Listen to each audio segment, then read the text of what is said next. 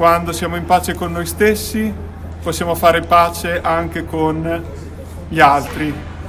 E allora da lì possiamo instaurare un, un dialogo costruttivo e costruire insieme un mondo che piaccia a tutti, che non discrimini nessuno, che non discrimini nessuno, che non condanni nessuno a perdere il lavoro, a perdere lo stipendio solo per un'idea diversa. La diversità non è un problema. È una protesta pacifica quella dell'insegnante Diego Zannoli, 36 anni, di Rimini, contrario al Green Pass imposto dal governo. Non tocca cibo da nove giorni e beve solo acqua naturale per lanciare un messaggio forte e chiaro. Preghiera e digiuno per la pace, la salute e la libertà di scelta. Al professore che insegnava fisica ed educazione tecnica in varie scuole medie e superiori della zona, nel mese di settembre gli era stato proposto un contratto annuale con la richiesta di esibire il certificato verde, ma lui si era rifiutato di mostrarlo e da quel giorno è senza lavoro, ma continua a pubblicare quotidianamente foto e video della sua battaglia su Facebook, Telegram e YouTube affinché il suo appello possa arrivare a quante più persone possibili. Diego, come sta e per quale motivo ha deciso di intraprendere questa scelta così forte e importante? Importante?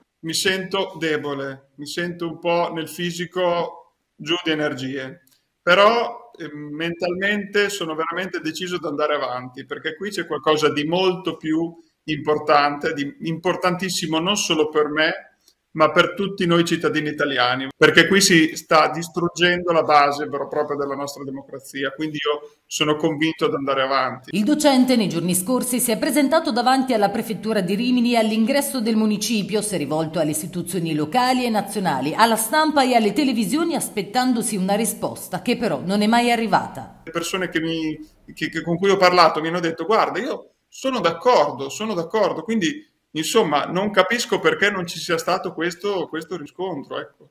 Qui siamo di fronte a un vero e proprio attentato ai diritti fondamentali di tutti i cittadini italiani, come persone innanzitutto, e diritti proprio anche sanciti dalla Costituzione, se vogliamo parlare a livello giuridico, ma come persone. Perché c'è un gruppo di persone oggi in Italia che a, eh, a causa di una scelta politica quindi non sottoporsi ad un siero obbligatorio, è condannata a rimanere a casa dal lavoro ma senza stipendio.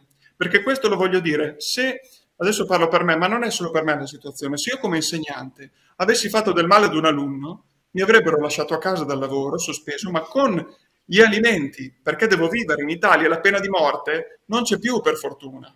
Quindi allora qui che cos'è? Non è una motivazione sanitaria, perché senza stipendio? Qui è una volontà di schiacciare cancellare gli oppositori politici, è così. Siamo tutti sulla stessa barca, ha precisato Zannoli, compreso chi si è visto costretto a cedere al ricatto perché magari ha un mutuo sulle spalle o una famiglia da mantenere. Anche tutti quelli che finora hanno seguito le indicazioni, che magari hanno fatto prima, seconda, terza dose, però ne conosco tanti che mi dicono guarda, se mi chiedono la quarta io non la faccio. E invece no, non sei libero di scegliere, non sei libero di scegliere perché se non la fai anche tu vieni esiliato. Dobbiamo unirci, ha proseguito il 36enne. Non è una questione di idee politiche diverse, ha aggiunto. Dobbiamo difendere la nostra Costituzione e decidere verso quale tipo di futuro vogliamo andare. La nostra è una grande repubblica, ha detto, e non una dittatura. Il messaggio di Zannoli è rivolto anche alla Chiesa. Al Papa, perché non può rimanere silente davanti a tutto ciò. La Chiesa non può rimanere insensibile davanti a tutto ciò. Da persone condannate a morire di fame, perché è così di solitudine perché non possono più fare nulla, entrare da nessuna parte, emarginate, senza lavoro, senza dignità, ma anche senza stipendio. Mi ha fatto delle battaglie anche solo per una persona, anche la Chiesa le ha fatte ed è giustissimo perché anche il valore di una vita è importantissimo. Però qui siamo molti di più, quindi non capisco questo silenzio, non lo capisco. Suppongo che continuerà questa sua battaglia, ma anche il digiuno? Certamente continuerò, certamente continuerò entrambe le cose sia la battaglia che il digiuno. Io, eh, come dire, è qualcosa veramente io sento in questo momento una fame molto più forte, che è quella proprio di ritrovare tutti i nostri diritti come esseri umani, come cittadini italiani. E quindi andrò avanti, perché questa fame è molto più forte.